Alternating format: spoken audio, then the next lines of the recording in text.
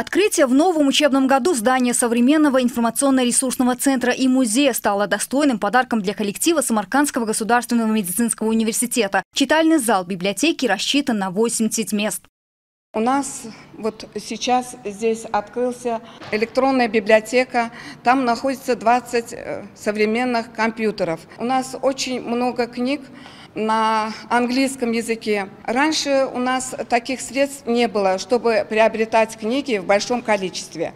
В библиотечном фонде университета имеется 300 тысяч единиц различной литературы. Книжные полки также дополняют 9 тысяч экземпляров научных пособий, созданных профессорами университета. Ресурсный центр богат и сборниками в области медицины, привезенными из зарубежья. За прошедший период сам ГМУ выпустил десятки академиков, ученых, профессоров, врачей с мировым именем. Созданный в университете музей является зеркалом истории, а представленные экспонаты и фотографии великих личностей служат популяризации жизненного и научного опыта в сфере здравоохранения.